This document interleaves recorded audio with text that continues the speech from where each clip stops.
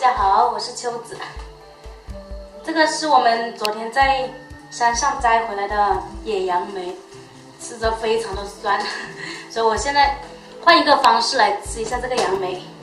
我们先舀点水到锅里面，这个锅里面是煮是煮过的凉开水。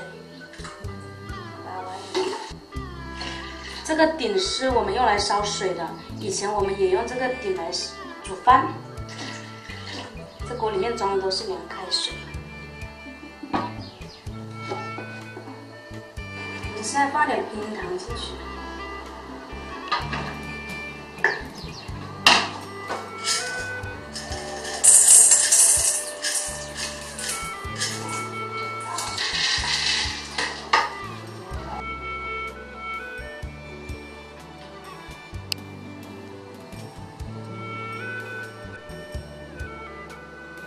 水开了，现在把这个杨梅倒进去。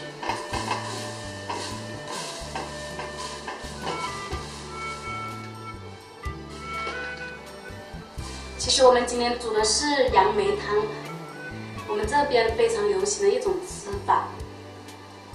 这个杨梅汤把煮开以后，然后就放到冰箱里面冷藏，或者把冷。我们现在把它捞起来，然后把它放冷了以后，就放到冰箱里面冷藏。